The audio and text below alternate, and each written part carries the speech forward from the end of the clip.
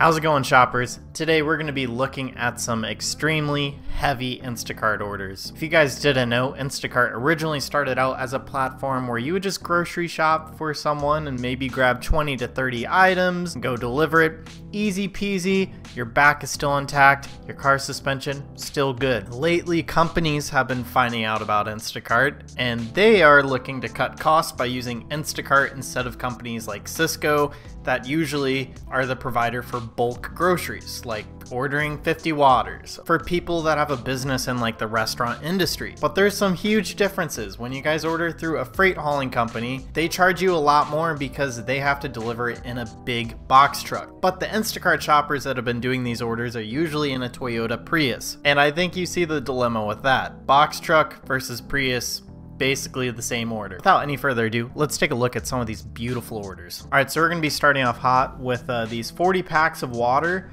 They want 15 of those. Each one is about 40 pounds, so uh, do the math there. That's a lot of weight. And this isn't even close to the heaviest one. Down below, I mean, you got 25 pounds of apples. That's doable, easy. But then uh, 10 Gatorades, that's heavy. Just a bunch of really heavy stuff. Just imagine trying to fit all that in your car, along with those big boxes down there. Like, that's going to be a struggle. All right, next up, guarantee you this is a restaurant. And uh, the best part, no tip. No tip, no problem. Just kidding. But yeah, they want like 100 things of lemonade and 24 gallons of milk. And uh, yeah, it's 124 units. That is that is a crazy amount. But it gets crazier, I'm telling you. If you think 24 things of milk is crazy, just wait.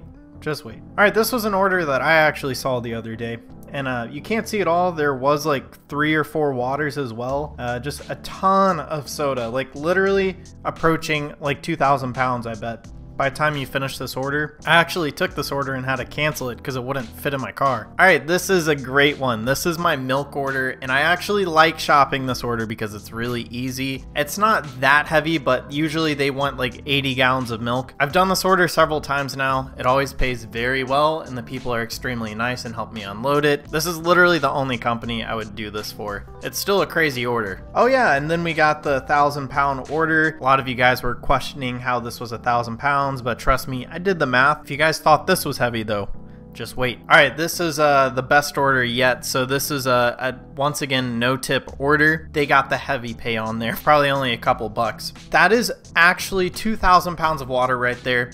And then if you add all the sodas and Capri Suns up, you're getting close to 3,000 pounds. I have no idea why people think that this is okay because you literally need a box truck for something like that. That or you're gonna be taking like three trips to and back all for $17 and no tip. Companies are using us to get stuff for cheaper. Just keep that in mind. There's not many freight hauling companies that would do that for the same price that they're getting it through Instacart. And uh, yeah, I think something needs to be fixed. I have no idea what the solution is to this. I feel like it would be interesting to have an option where you can take heavy orders or you could just take it off. So you don't even see them, so you don't accidentally take these orders that weigh tons. I also wish that the heavy pay was more significant on orders like that where you're delivering over a thousand pounds. I think the heavy pay needs to be increased because you're definitely risking damaging your car. Let me know what you guys think about these orders down below. I'd be really curious to see what you guys think the solution could be for something like this. Anyways, thank you guys for watching. If you enjoyed it, smash that like button and I'll see you guys on the next video.